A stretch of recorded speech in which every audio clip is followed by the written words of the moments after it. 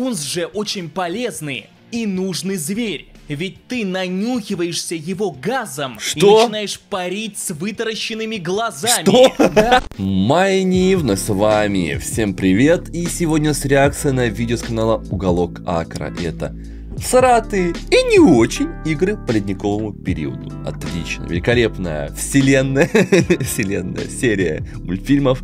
Потому что там за игры. Как игры по ледниковому периоду Я бы в какую-то игру играл. скрета в качестве врага. Чё? Серьезно? Зированной белкой в латексе. О. Как игры радовали нас и выставляли мамонта Мэнни ребята, руки на стол, руки на стол. А какие были поводы для расстройства? Сегодня мы во всем этом разберемся, не отходите далеко. Всем массовый здрав! Бывало ли у вас такое, что ваша любимая мультфраншиза превращается в алкоголика? Так, стоп, Что? стоп. Это вообще Что? по тексту? Вот вы знакомитесь с довольно Что? интересным человеком. Вот он раскрывается с новой стороны. Вот он начинает Ну да. выпивать, но от этого вроде даже становится веселее. А вот он уже немного перебрал, а вот он уже мочится себе в штаны, а вы наблюдаете за этим позором и испытываете испанский стыд. Для моих Да. зрителей Теперь лучшие я понял, о чем он. свежие, только с прилавка. Нет, правда. Вы можете себе представить, чтобы в 2002 году зритель, что пошел в кино на первый ледниковый период, вообще мог бы поверить, что спустя 14 лет вот эту приколюху с летающей тарелкой разовьют в полноценный мультфильм. Хотя они скорее поверили бы в это, чем в то, что будет происходить на Земле в 2021. Ну Но да, то сейчас происходит период, прям... как известно, знатно скатился. Хотя... Сейчас уже вроде бы все идет более-менее в лучшую сторону. Посмотрим, что будет да, дальше. знаете, я хотел играть Шекспира, но нужно было с чего-то начинать, и я подписался на роль Скрета, думая, что, эй, нужна же какая-то работенка. Я же не стану актером одной роли. Сука! Но мы сегодня собрались говорить не про мультфильмы, а про игры. Как там игровая серия справилась со всеми этими переменами? Какая и к ламповая чему игра, на самом пришла? деле. Начнем с самого начала. 2002 год. Ледниковый период становится настоящим хитом. И самое время дать новоявленной фанбазе поиграть за уже полюбившихся героев. Так появился ледниковый период на приставку Game Boy Advance. И я не завидую тем людям, что посчитали, будто эта игра Ну, выглядит симпатично, только почему он стреляет с фаерболами? сможет соответствовать качеству мультфильма. О, нет. Я не могу воспринимать эти шакальные скрины из мультфильма не как издевательство. Особенно с этой музыкой. Когда в Final Fantasy зашел, ну, спрайты перепутали. Это что, гимн? Мне надо плакать или не надо? Я растерян. Господи, они могли бы хотя бы текст какой-нибудь написать. Типа бла-бла. Смотри, ребенок. Интересно, за сколько можно его сбагрить на черный рынок? Чур прибыль пополам. Не, ну серьезно, что это за немое кино? Даже на играх какой-нибудь приставки Дэнди обычно не брезговали Да, расщедриться на текст. Я не понимаю, что тут написано, но это явно ниндзя. текст. А это ничего. Ладно, что по самой игре? Вы играете за мамонта Мэнни и тащите на себе ребенка. И я должен сказать, Мэнни худший претендент для этого. В этом мире его может убить буквально все. Что это? Улитка? Неважно, если оно дышит, оно может прикончить главного героя. Ну ничего себе, побеге. улитка-убийца. Мне нравится, как даже пацан когда гребаный мамонт сдыхает от летучих мышей. А нельзя было найти более достойных противников? Например, это что, Скрет? Они были врагами в первой части. Я так-то давно смотрел. Окей, если у кого-то по какой-то причине было желание убить Скрета, То тут это можно сделать. совершить подобный акт насилия в этой игре. Действительно, Класс. пошел ты, Скрет. Ты даже почти не связан с основной сюжетной линией мультика. Но все помнят именно тебя. Ты оборзел. Тут можно атаковать спящего носорога. Какая подлость, если так подумать. И я просто обожаю этот звук, когда герою наносят урон. А с местным управлением вы будете слышать его часто. Это не даже 2DS у него, или 3DS. Э, Как прикольно. Хочу тоже себе, я сейчас не купить. Но самое веселое здесь не это, Вот а так, вот например, такое делать. решение. Здесь, Похоже? чтобы пройти, нужно сломать пол. Вот тут стену, тут попрыгать по птицам. А здесь у Прикольно. нас скунс. Я вначале подумал, что он очередной враг. Но нет, это же не Это скрет, друг. которого создатели игры, видимо, ненавидят. Скунс же очень полезный и нужный зверь. Ведь ты нанюхиваешься его газом Что? и начинаешь парить с вытаращенными глазами. Что? Да, этот газ не наносит урон. Вам буквально Гениально. нужно, чтобы героя от него вштырило. Иначе игру не пройти. Класс! И все это под звуковой эффект, будто взято из Яралаша. Всего в игре 10 уровней, и в паре Музыка из пуков была сделана, кстати. из них нам даже дадут поуправлять Сидом. В общем-то, все то же самое. Идем слева направо и занимаемся собирательством. Ну, выглядит это Мне неплохо, уже настолько плохо от этой игры, что мне кажется, будто его ноги состоят из вращающегося Соника. Что еще украдете? О, Вращение Рэчет. Крэша Бандикута? О, Ладно, Рэчет, я понял. господи, Крэш, Рэчет. Просто я... У меня параллельно установлена сейчас игра Рэчет и Крэш на PlayStation, и типа, и поэтому что-то у меня ассоциация, ассоциация произошла. А знаете, Извините. как герои будут благодарить вас в конце уровней? Поворачиванием в анфас. Но блин, лучше бы они это не делали. Лучше бы поберегли мою и без того хрупкую психику. Я понимаю, что это как бы Game Boy, но блин, на этой А, платформе него явно есть был? игры достойнее, Блин, чем прикольно. это. Да та же вторая часть. А, да, это все геймбой. прямо Блин, похоже на Nintendo 2DS просто далека, но он потоньше Nintendo будет. Сильно лучше, 3DS. но зато тут можно поиграть за скрета. Так это Соник. В чем суть? Помимо моментов с белкой у нас есть три персонажа. Сид, Диего и Мэнни соответственно. По ходу игры нужно протащить этих героев через уровни, помогая им преодолеть препятствия, которые они не могут это прикольно, пройти. типа, К логическая примеру, игра. Сид не может ходить по раскаленным камням. Мэнни может перекинуть Сида через пропасть. А сам спокойно пройтись по камням. Круто Слушайте, же. ну это И прикольно. помогает поверить в то, что персонажи сдружились, пройдя приключения в первом мультфильме. Слушайте, ну вот это прикольно, это такая головоломка, где ты должен сразу думать, как играть за трех персонажей. Это, вот это, кстати, интересная У идея. нас так принято. Помогать друг другу. А поскольку карты довольно большие, с помощью нужной кнопки мы можем включить режим обзора и осмотреть карту, узнать, где персонажи, какое препятствие, как пройти к нему и прочее. Это делает геймплей приятным, вот только главный минус в том, что это одиночная игра, и нужно постоянно самому все перетаскивать. Да, это Но минус, не да. Если была бы на двоих, было бы вообще шикарно. приятно. Сложно, но приятно. А если на троих, то... Ну, типа друзей. Ледниковый период 2 на персональном компьютере. И, Ой, а в конечно, это вроде поиграл немножко. на начальную заставку можно реально с удовольствием залипнуть. Реабилитация Скрета продолжается. Нам, по сути, показывают события второй части с его стороны.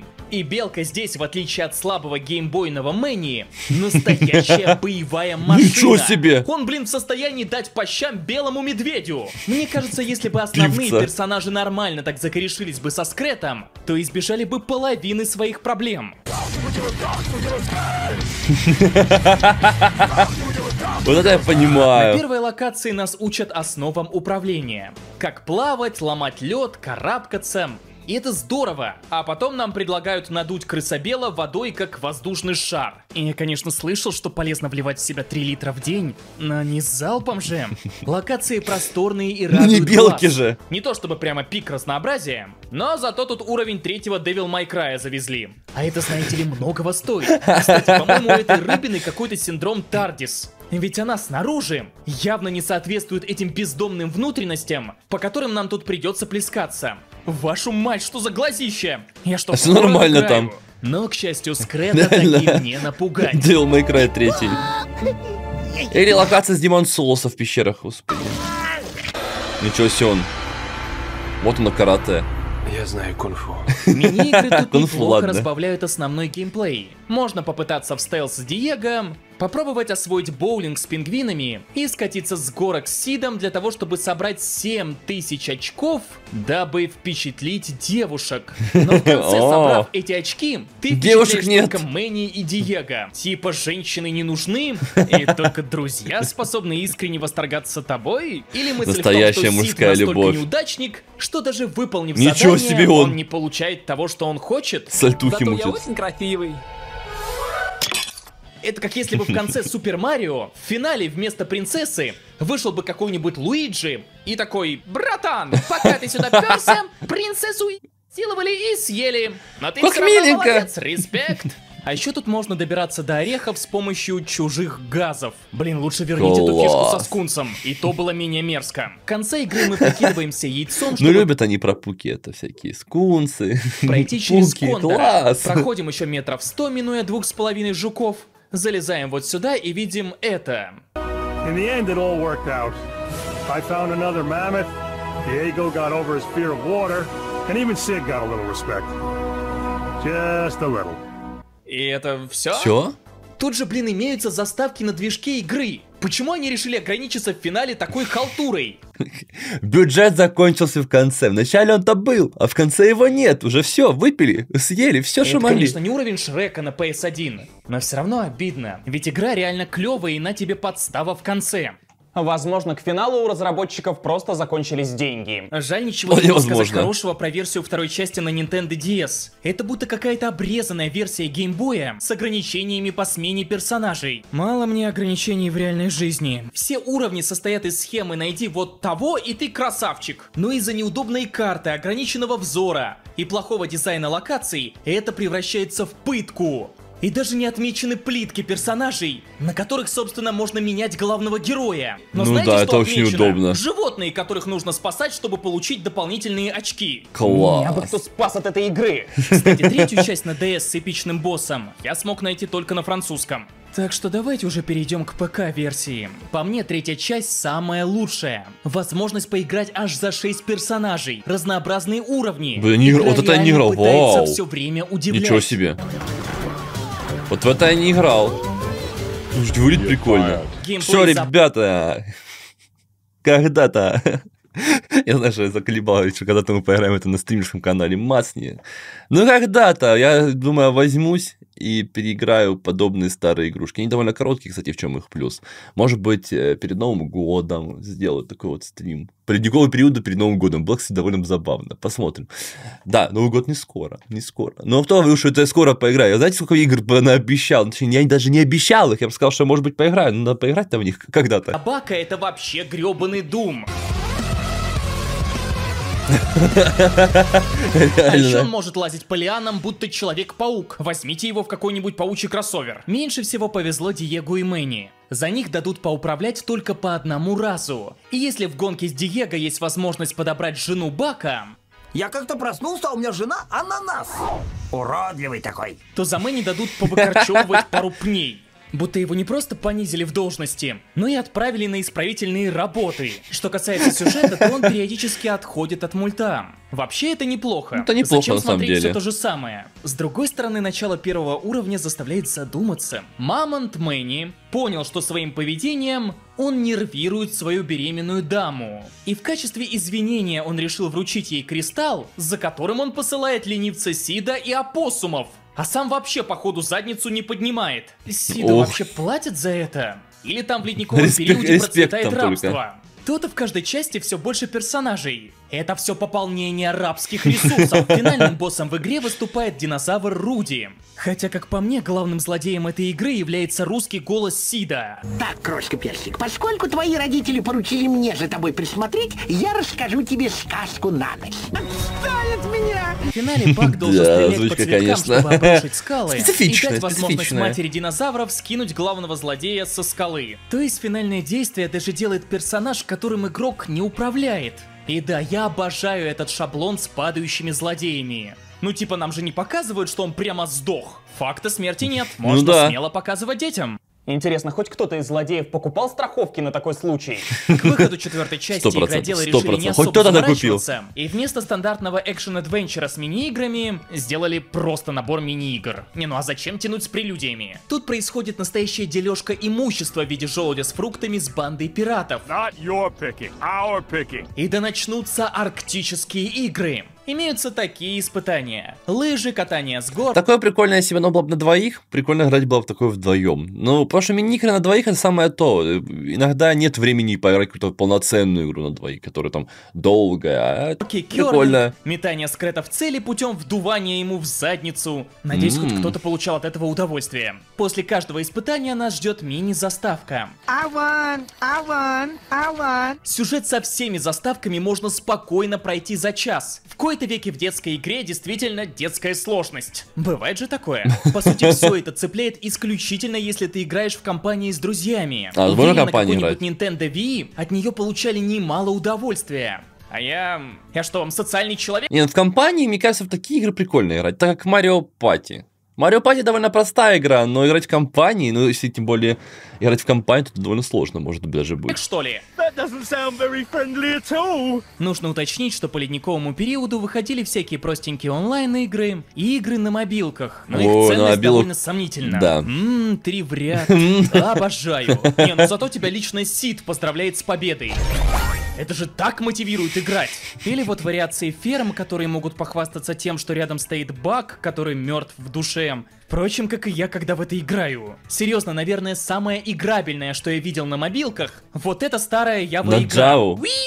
Блин, Java, почему? Я так привык говорить Java почему-то. Как более правильно, Java или Java? Я говорил всегда Java. Я программировал на Java. Я имею право голоса. Я всегда говорил э, Java. Не знаю. Хотя слышал Java произношение, Java произношение. От программистов именно. Ну, как-то мы даже когда говорили одновременно с ними, как-то говорили там, говорил кто- кто-то говорит Java, ему говорил Java, никаких конфликтов не было. Поэтому как-то никогда этого не возникало вопроса. Каждый говорил как удобнее. Какая разница, программируем-то мы на одном языке. Но что касается игр по пятому мультфильму... Никто не Ну, обижался. по нему Обиженки себя не было строил. игр. Видимо, все решили держаться от этого дела подальше. Зато в 2019 году вышло чокнутое приключение Скрета. И знаете, есть персонажи, что хороши в меру. За время игры ты просто успеваешь устать от скрета. И сама игра вообще не помогает тебе избавиться от этого чувства. Враги скрета в виде жуков, москитов, пираний и опоссумов абсолютно на всех картах одинаковые. Прохождение это с печаль. каждым уровнем становится все однообразнее и скучнее. В игре по второй части Скрет был сумасшедшим маньяком, а тут будто он сам уже устал от всего происходящего и продолжает действовать по инерции. Он, конечно, может Просто получить убегает. особые способности от Супер Ореха, но кроме двойного прыжка они и не особо нужны. Очень быстро ты понимаешь, что атаковать рядовых врагов абсолютно бессмысленно, и начинаешь их тупо всех оббегать. В игре есть боссы. Здоровые монстры из прошлых игр. Есть даже Фрэнк и Карл из самой первой части. Вот, те ну это прикольно. один из которых... В итоге складывается впечатление, будто ты на протяжении 6 часов выполняешь одни и те же действия. А вокруг лишь меняются декорации. Будто игрока решили подготовить таким образом ко взрослой жизни. По сути, это Рутина. уродливый братец М. второй части, с более приятной графикой и крайне неприятной камерой. 40% времени вы будете лицезреть кусты, льдины и все остальное, за что камера сумеет заехать.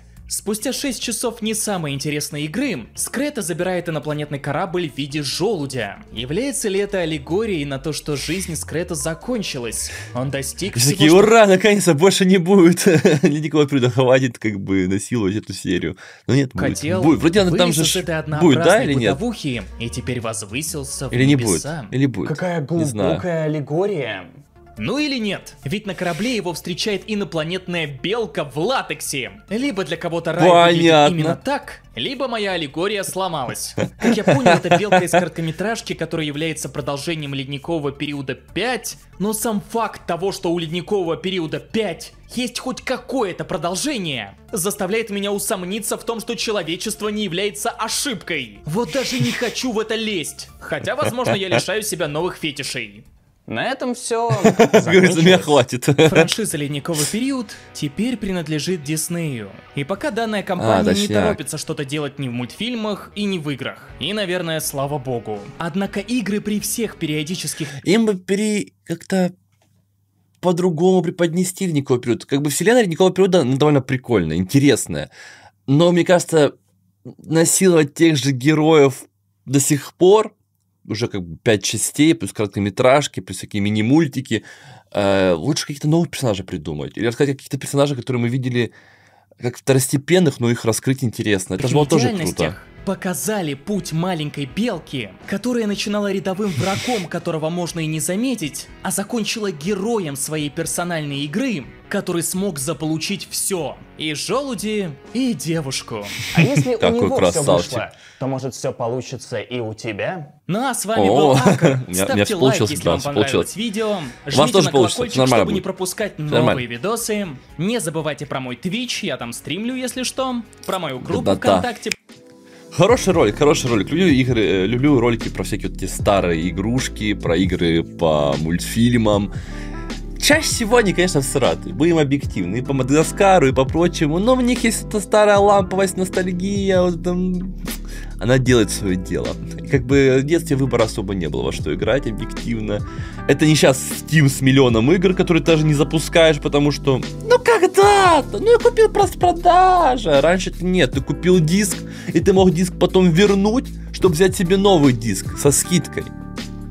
И ты как бы ценил это. А когда у тебя игра не запускалась, для тебя это была трагедия. Поэтому вот такие были времена. Ребята, подписывайтесь на Акра, ставьте ему лайки и там комментарии пишите. И также подписывайтесь на меня, мне было бы очень приятно. Всем удачи, ребят. Всем пока-пока.